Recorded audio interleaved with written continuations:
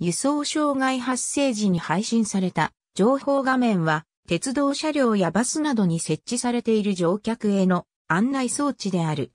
次の停車駅、停留所や車両案内、運行情報などの案内情報を発光ダイオードや液晶などを用いた表示機に文字や静止画、動画などで表示させ、乗客に伝える。また、ワンマン列車や路線バスでは、運賃表示器を兼ねることもある。通勤系電車の場合は、各客用ドアの上部に設置されている例が多いが、ワンマン運転を実施する列車やバスなどでは運賃、支払い時に運賃が確認できるように、車両最前部の運転席上部に設置されている。また、特急系車両や新幹線の場合は、各車両のデッキへの仕切りドアの上部に設置されている。日本においては、通常は日本語と英語の2カ国語で案内されることが多いが、特に空港連絡鉄道など外国人の利用が多い路線、車両の場合、中国語や韓国語などの多言語表示に対応しているものも存在する。また、東海地方のように、ブラジル人労働者の多い地域ではポルトガル語表示もある。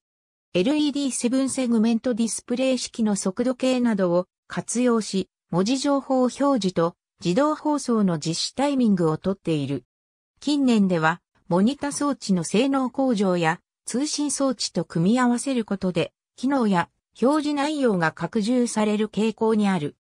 2000年代以降の新造車両においては、交通バリアフリー法の施行に伴い、単なるサービス設備ではなく聴覚障害者に向けて、自駅案内や乗り換え案内、鉄道においては、ドアの開く方向を知らせるなど、放送が聞き取れない利用者に対しての表示を行う、よう義務付けられており、ユニバーサルデザイン設備としての性格が濃くなっている。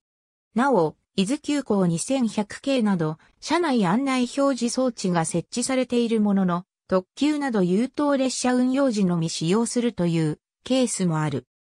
JR 東日本はスマートフォンの普及で乗客自身が様々な情報を取得できる環境になったため、館内の東北、上越、北陸、山形、秋田の各新幹線と特急日立、時は成田エクスプレスの車内案内表示装置で流されてきた文字ニュースを2021年3月12日限りで終了している。同サービスは2002年から始まり、報道各社のニュースを流していた。また、東海道新幹線においても、同様のサービスを行っていたが、2020年3月13日で終了している。東京地下鉄銀座線向けの01系電車や丸の内線向けの02系電車に見られるような路線図タイプの表示装置で行き先と次の停車駅、進行方向をランプの点灯、点滅で表示する、比較的簡素なものであるが、当該路線の全体像が直感的に把握できる利点がある。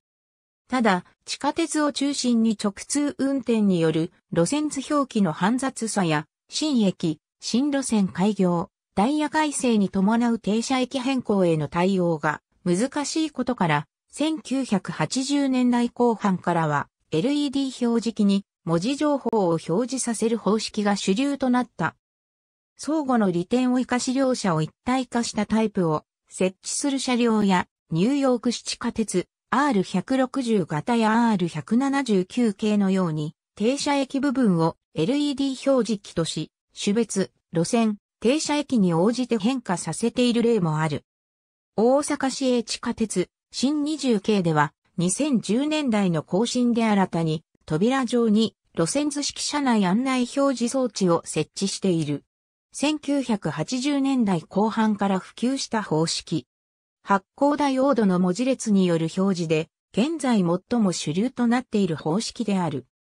路線図式に比べて、案内の変更に柔軟に対応できるほか、色の組み合わせやスクロール、点滅などで、視覚的に乗客に見やすく表示、注意喚起することができる。三色表示のものが大半であるが、2000年代後半以降ではフルカラー表示となっているものも登場している。また、車両によっては上下2段に分けて表示することが可能なものや、行き先表示用とその他案内用を分離して2面を並列配置したものもある。LED の代わりに蛍光表示管を用いたものもある。液晶ディスプレイを用い、図形や映像で多種多様な表示を行うことができる方式。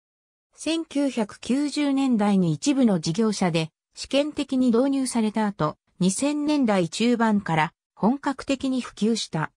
停車駅や運行情報などの案内の他に広告表示用のデジタルサイネージとして用いている車両もあるほか、先頭車両からの全面展望を映し出す機能を持つ車両もある。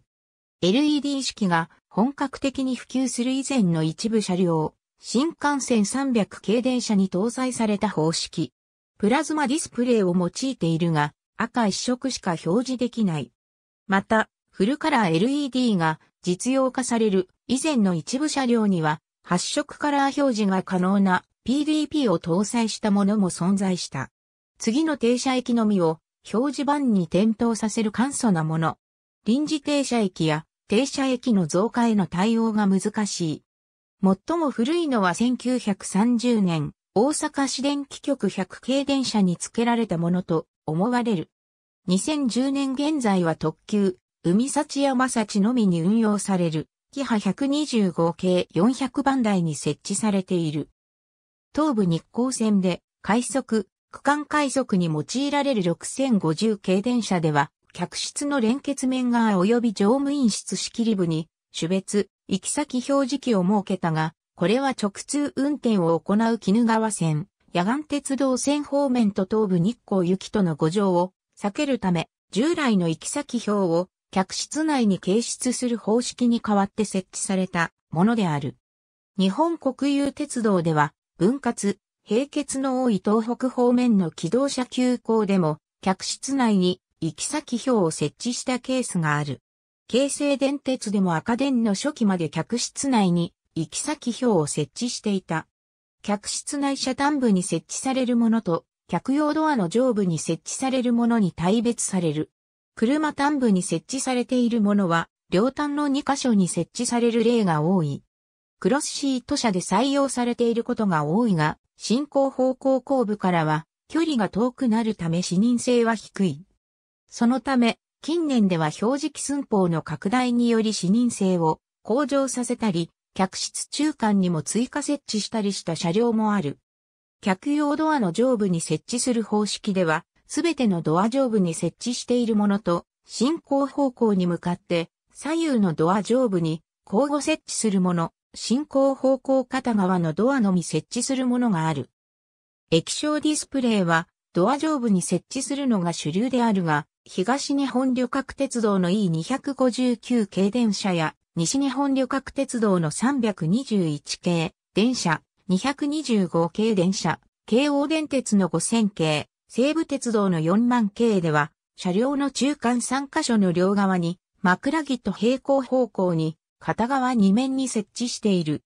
また、近畿日本鉄道では2万1000系電車、アーバンライナープラス2万1020系電車、アーバンライナーネクストの喫煙コーナーにも液晶ディスプレイを設置していた。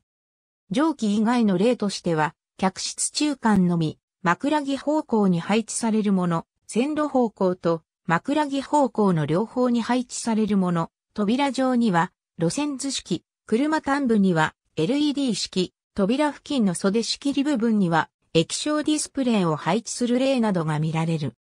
また、JR 東日本 E235 系電車や東急2020系電車などのように荷棚状に設置し、広告として利用するようにもなっている。